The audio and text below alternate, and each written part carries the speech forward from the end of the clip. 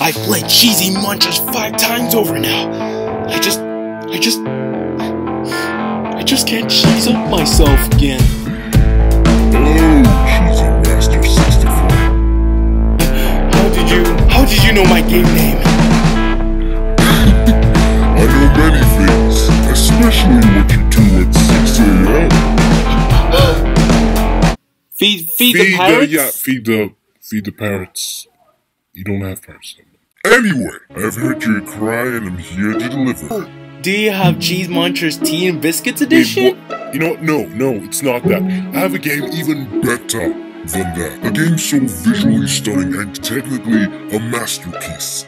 Your eyes have never laid upon.